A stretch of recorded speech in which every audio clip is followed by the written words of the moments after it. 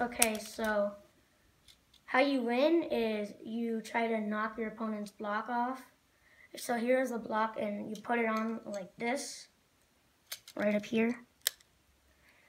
And same with your opponent, but the opposite way like this. And it's pretty easy to punch off.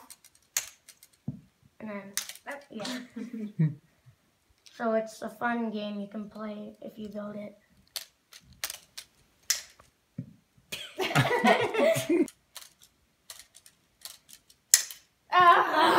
Ah! okay. Go.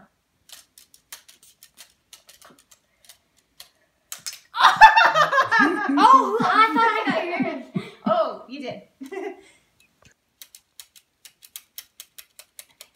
This is a puncher toy that I made out of a four bar linkage. So this is the first bar. This is this is the second bar. This is the third bar, and this is the fourth bar. And how it works is if you press this down, this is a part of the second bar.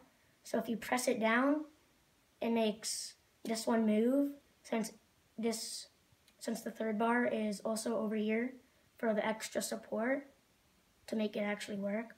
So basically when you press this down, it extends all the way out and how it works is um, this has like more space unlike this, it only has three and this has five.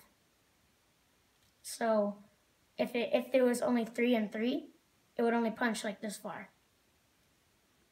So yeah, that's basically it.